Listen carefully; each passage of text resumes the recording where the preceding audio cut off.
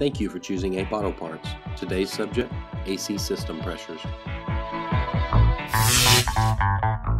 In today's complex systems, any number of issues can result in poor pressures and underperforming AC system. Normal operating ranges are from 20 to 38 pounds per square inch low and 240 to 305 pounds per square inch high, but will vary due to the outside temperature. Before spending money on an expensive repair, be armed with the knowledge of your system's pressures. High side system pressures may indicate a blockage in the system or a malfunctioning expansion device while low side system pressures typically indicate a leak in the system or a shortage of refrigerant. Regardless of your system's symptoms, your vehicle's pressures are an imperative part of diagnosing the root cause. And don't forget, we're here to help.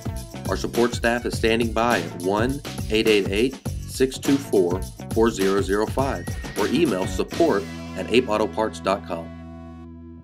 Ape Auto Parts. Parts ordering made simple.